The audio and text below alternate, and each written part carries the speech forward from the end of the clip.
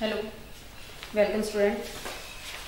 We will understand next point from the chapter food security in India. हमने कल इसकी video में कुछ स्टडी की थी कि फ़ूड सिक्योरिटी क्यों कैसे है और इसके लिए इसको फुल फिल करने के लिए कौन रिस्पॉन्सिबल है यानी कि फ़ूड सिक्योरिटी की जो रिक्वायरमेंट होती है वो सभी को होती है और हमारी गवर्नमेंट उसको, उसमें कैसे सपोर्ट करती है? उन सभी के बारे में स्टडी की थी अब उसी पॉइंट्स पे आगे हम डिस्कस करेंगे कि हमारी गवर्नमेंट और हमें कैसे सपोर्ट करती है। तो हमारी गवर्नमेंट सबसे पहले क्या करती है? फ़ूड सिक्योरिटी के लिए बफर स्टॉक करती है। बफर स्टॉक क्या होता है? Buffer stock it means stock of grain it is created by government as well as rice and wheat तो हमारे पास जो फ़ूड ग्रेन होती है, यानी कि टेबल्स होती है, हमारे इंडिया में सबसे ज़्यादा राइस का सेवन होता है और उसके बाद में वाइट्स का होता है। हमारी गवर्नमेंट क्या करती है, इनको स्टॉक कर लेती है। अभी जैसे हमने अभी प्रोडक्शन लिया है एग्रीकल्चर प्रोडक्शन इट मीन्स हमारे पास वाइट की क्रॉप्स हुई है तो हमारी गवर्नमेंट ने उसको परचेज कर लिया। जो भी हमारे पास सरप्लस था, हमने सारा सेल आउट कर दिया। हमारी गवर्नमेंट क्या करती है? क्या गवर्नमेंट उसका सारे का एक साथ कंजप्शन कर देती है? नहीं उसी पॉइंट्स पे हम आगे डिस्कस करेंगे। तो बफर स्टॉक एक में स्टॉक कर लेती है हमारी गवर्नमेंट जब नया प्रोडक्शन हमारे पास आता है, नई एग्रीकल्चर प्रोडक्टिविटी होती है, नई क्रॉप्स आती हैं तो हमारी गवर्नमेंट हमारा, हमारी जो क्रॉप्स है, उसका परचेज करना और उसके बाद में उसको स्टॉक करना बफर स्टॉक कहलाता है। तो बफर स्टॉक में कैसे हैंडल किया जाता है, यानी कि क्या क्या प्रोसीजर होता है, उस पर डिस्कस करेंगे। फ़र्स्ट हमारे पास आता है बेटा F C I food corporation of India हमारी गवर्नमेंट डायरेक्ट किसी का भी वही परचेज करने के लिए नहीं आती। उसके लिए एक डिपार्टमेंट होता है फ़ूड कॉरपोरेशन ऑफ़ इंडिया ये क्या करती है कि ये हमारा जो प्रोडक्टिविटी होती है, उसको परचेज करती है। इट मीन्स वाइट को राइस को, या दूसरी दूसरी हमारे पास जो प्रोडक्टिविटी होते हैं, उन सभी को परचेज करती है। वो परचेज करती है जो मिनिमम स्पोर्ट्स प्राइस होता है उसके ऊपर, और उसके बाद में स्टॉक कर लेती है। वो देखती है, जैसे लाइक हमारे पास कई बार जो फार्मर है मार्केट में लेके जाते हैं अपनी क्रॉप्स को, और उसके बाद में उसमें हमारे पास मास्टर्ड है, उसमें बताया जाता है, इसमें फैट निकाली जाएगी। और फैट जितनी ज़्यादा उसका होगा, उतने ही ज़्यादा रेट पे उसका, यानी कि उतना तो मिनिमम स्पोर्ट्स प्राइस उसको मिल जाएगा जो गवर्नमेंट ने डिक्लेयर किया हुआ है। बट अगर फैट कम होती है या उसमें मॉइस्चर होते हैं या फिर वो किसी भी कारण से खराब हुई होती है तो वो रेट नहीं मिल पाता है। ये सारी जो इंक्वायरी करने का काम जो करता है, वो एफ़ करती है फ़ूड कॉरपोरेशन ऑफ़ इंडिया करती है। फ़ूड कॉरपोरेशन ऑफ़ इंडिया इसको परचेज कर लेती है और किस रेट पे परचेज करती है वो देखें। M S P minimum sports price minimum sports price क्या होती है बेटा? अभी हमारी गवर्नमेंट जैसे लाइक हमने वाइट की प्रोडक्टिविटी ली है, और उसका बफर स्टॉक कम हो पाता है, या पूरा ईयर्स जो नई, अभी आगे जो साल टाइम जाएगा, उसमें अगर हमारी पब्लिक की रिक्वायरमेंट उससे फुलफिल नहीं होती है तो हमारी गवर्नमेंट नेक्स्ट सेशन में उसको अगर वाइट ज़्यादा ग्रो करवाना है, यानी कि कल्टीवेशन करवाना है तो हमारी गवर्नमेंट उसका रेट अप करके, यानी कि जब हम क्रॉप्स को उगाते हैं, यानी कि उसको सोविंग करते हैं, उस टाइम ही हमारी गवर्नमेंट प्री अनाउंस्ड कह सकते हैं प्री अनाउंस्ड प्राइस कह सकते हैं, उसका रेट पहले डिसाइड कर देती है। और उस टाइम पे वो इसका रेट डिसाइड करती है, जिसका उसको ज़्यादा परचेज करना होता है, ज़्यादा रिक्वायरमेंट होती है। हमारे जो फार्मर्स हैं, वो मस्टर्ड को ज़्यादा ग्रो करेंगे क्योंकि उसमें लेबर कम लगती है। और उसका रेट भी सही होता है। तो जहाँ पे वो मस्टर्ड होगा, या उस फ़ील्ड में, उस फार्म में अगर वो वाइट का ग्रो करते हैं तो उसके बाद में कंपैरिजन में उसको प्रॉफिट कहाँ होना है, वो फार्मर देखेगा।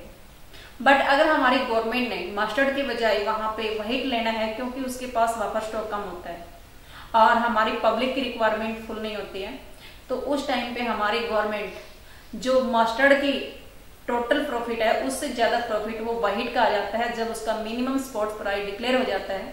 तो उस फार्मर्स को ये पहले ही सिक्योरिटी हो जाती है कि उसका रेट इतना मिलना है। इसलिए वो अपने उस फ़ील्ड में, उस फार्म में वाहिट का ग्रो करेगा, ना कि मस्टर्ड का। इट मीन्स हमारे पास है ये S P minimum sport price वो होता है जो गवर्नमेंट के द्वारा प्री अनाउंस्ड होता है। उससे, उसके बाद में जब हमारे पास प्रोडक्टिविटी होती है तो हमारी गवर्नमेंट मिनिमम स्पोर्ट्स प्राइस तो वो देती है। अगर फिर भी प्रोडक्टिविटी अगर लेस हो जाती है, किसी भी कारण हो सकता है, हमारे पास नेचुरल डिजास्टर हो सकती है।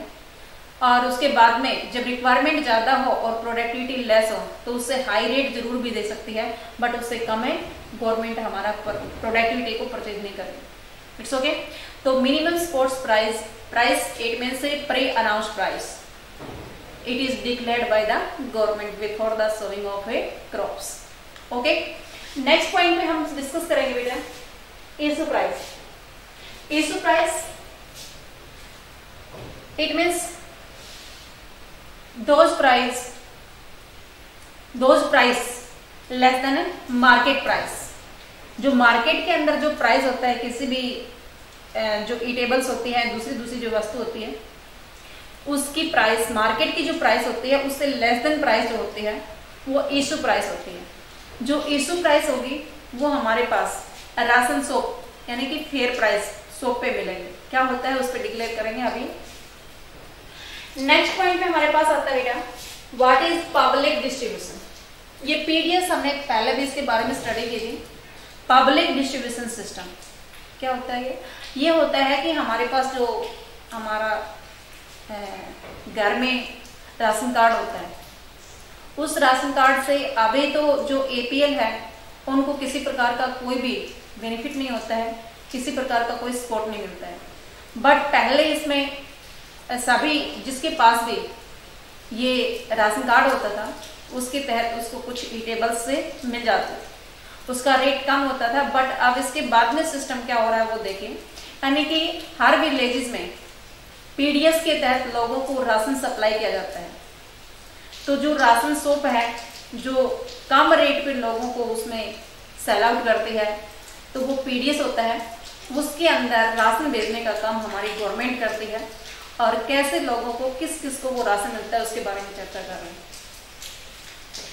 अब इसमें आ गया बेटा fair price shop it mean ration shop जो आपके विलेजेस में है, जो राशन कार्ड से राशन देती है, वो राशन सोप या फेयर प्राइस सोप बोलेंगे ये क्या करती है? ये इसके अंदर लोगों को राशन डिस्ट्रीब्यूट किया जाता है। इसमें थर्टी फाइव के G grain five K G sugar और फाइव लीटर कैरोसिन प्रोवाइड करवा दी गई है। बट अब इसमें कुछ डिडक्ट हुआ है, अब इतना सारा नहीं मिल पाता है। पहले की बात थी, अब कैरोसिन आगे नहीं मिल पाता है। तो ये हमारे पास जो फेयर प्राइस शॉप होती है उसके अंदर फिक्स होता है, जो लोगों को मिलता है। इससे नेक्स्ट पॉइंट पे हमारे पास आता है, बेटा, किसको कैसे मिलता है? देखिए, अब हमारे पास राशन कार्ड है। बट हमारे राशन कार्ड है, वो इंडिया के अंदर थ्री टाइप्स के हैं। थ्री टाइप्स के राशन कार्ड में सबसे पहले हमारे पास आता है अंत्योदय कार्ड। अंत्योदय कार्ड के अंदर क्या होता है? इसके अंदर कुछ पहचान की हुई होती है। पुअरेस्ट और ऑफ़ ए पुअर पुअर के अंदर से भी कुछ पुअरेस्ट को निकाला गया है, क्योंकि हमने लास्ट चैप्टर में पढ़ा था कि कौन पुअरेस्ट है, जो गर्ल चाइल्ड है ओल्ड एज पर्सन है, या फिर वोमिन है। वोमिन ये हमारे पास पूरस्ट है पुअर से भी पूरस्ट है। इन लोगों को अंत्योदय कार्ड मिला हुआ है। उसको बहुत ही लेस पे या फिर फ्री में भी राशन मिल सकता है। ठीक हो उसके बाद में हमारे पास आता है बेटा APL sorry BPL below poverty line below poverty line it mean line हमने कल स्टडी किया था। लास्ट चैप्टर में भी स्टडी किया था कि ये लाइन है हमारे पास इस लाइन के नीचे कुछ लोग हैं, इस लाइन से ऊपर कुछ लोग हैं। यानी कि जिसकी परचेजिंग पावर अपनी डेली कंजप्शन के लिए, जो कैलोरीज में मेज़रमेंट किया हुआ है, उसमें अगर वो इतना परचेजिंग इतनी कंजप्शन नहीं कर पाता है, कुछ फिक्स डिसाइड किया हुआ जो हमारे पास अमाउंट है मंथली पेमेंट है, या हम जो फ़ूड गेन करते हैं, उसमें कैलोरीज को डिसाइड किया हुआ है। तो उतना अगर वो नहीं गेन कर पाता है तो वो आदमी एपीएल में, और अगर वो गेन कर लेता है तो वो जो नहीं कर पाता है वो बीपीएल में, और जो गेन कर लेता है वो एपीएल में चला जाता है। तो बिलो फोर्टी लाइन है कि ये लाइन जो मेज़रमेंट करने वाली होती है, ये मंथली इनकम के आधार पे तो उससे नीचे जो आदमी रह जाता है वो बिलो पॉवर्टी लाइन में रहता है। और उससे ऊपर जो चला जाता है वो APL above poverty line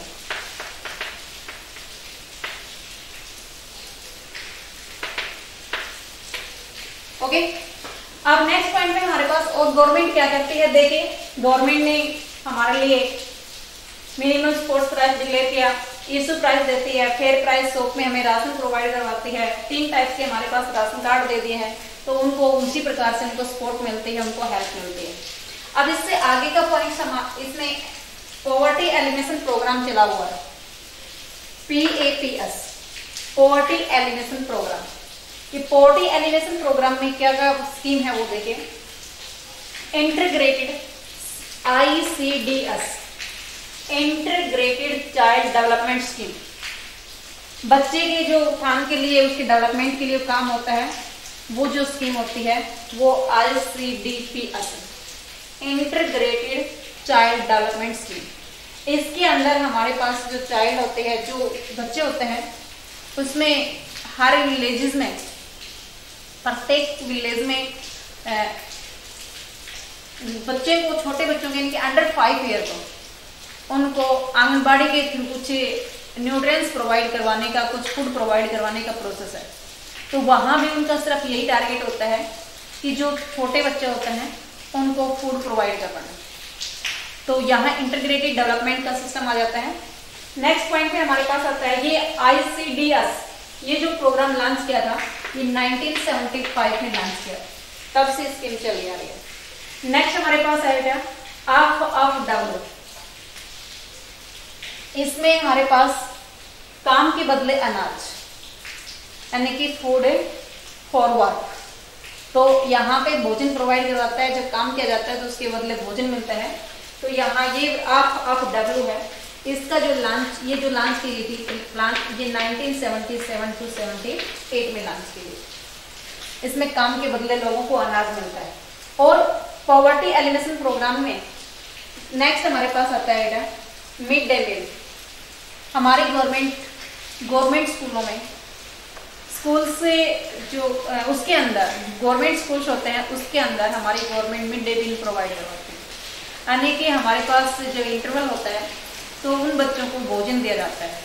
उसमें वो सारे, उनके पास से अलग अलग शेड्यूल होता है, यानी कि उनका फ़ूड चार्ट होता है। उसमें अलग अलग टाइम पे अलग अलग उनको न्यूट्रिएंट्स प्रोवाइड करवाने की स्कीम है, जो mid day meal government school schools में प्रोवाइड करवाया जाता है। इसका मेन मोटो होता है, वो poverty elimination program it means उस पॉवर्टी को रिड्यूस करने का प्रोग्राम है, उसके तहत हमारी गवर्नमेंट इन लोगों को ही हेल्प करती है। ओके नेक्स्ट पॉइंट में हमारे पास आता बेटा current status of public distribution जो पीडीएस हमारे पास पहले था पब्लिक डिस्ट्रीब्यूशन सिस्टम उसका अभी करंट में कैसा शेड्यूल है उस पर डिस्कस कर रहे हैं। तो फ़र्स्ट हमारे पास आता बेटा टीडीएस जो पहले से ही था पीडीएस पब्लिक डिस्ट्रीब्यूशन सिस्टम ये अप टू 1992 उस टाइम तक सभी लोगों को बिना किसी डिस्क्रिमिनेट के, बिना किसी भेदभाव को, सभी को राशन शॉप से राशन मिलता था। अब आफ्टर 1992 के बाद में नेक्स्ट उन्होंने क्या कर दिया? RPDS revamped public distribution system उसको रिवाइज कर दिया। ये रिवाइज करने के बाद, उसके अंदर 1992 के बाद में उन लोगों को पहचान कर दे जो एपीएल में है और जो बीपीएल में है। ओके उसको रिवाइज किया हुआ है, यानी कि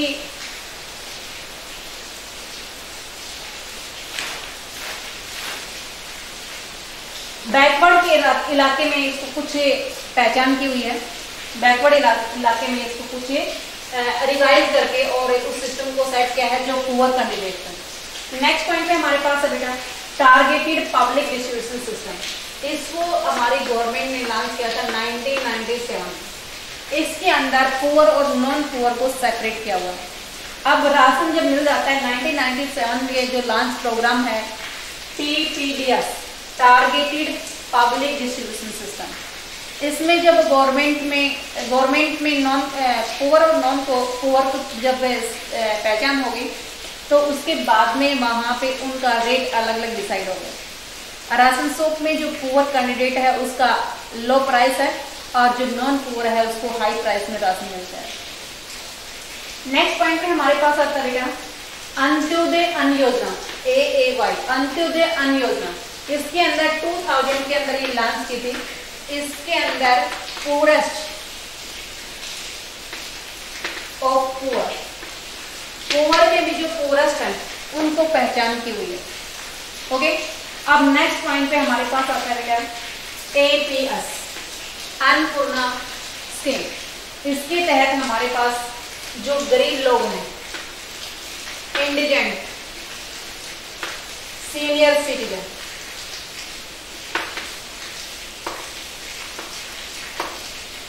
ये 2000 में लॉन्च हुई है।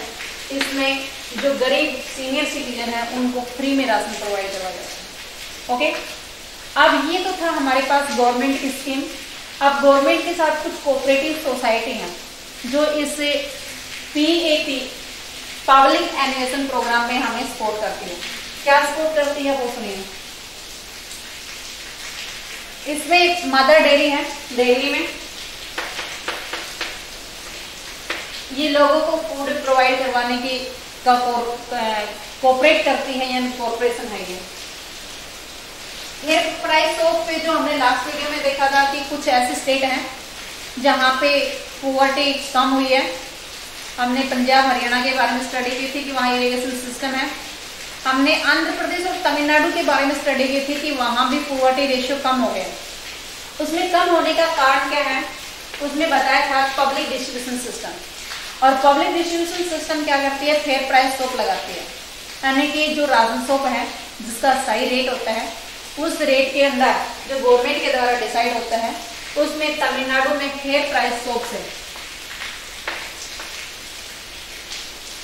लोगों को फ़ूड प्रोवाइड करवाया जाता है। और उसके तहत वो कोऑपरेटिव सोसाइटी है, यानी कि वहाँ से उन लोगों की पॉवर्टी रिड्यूस हो रही है। अमूल डेयरी गुजरात के अंदर है। वाइट रिवोल्यूशन यानी कि increasing the productivity of a milk milk के लिए जो प्रोडक्टिविटी करते हैं, वो वाइट रिवोल्यूशन होता है। नेक्स्ट हमारे पास आता है बेटा एकेडमिक ऑफ़ डेवलपमेंट साइंस ये महाराष्ट्र में काम करते हैं।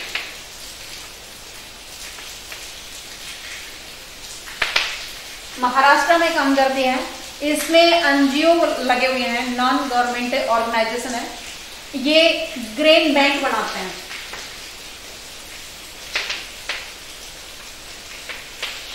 ग्रेन बैंक क्या होता है?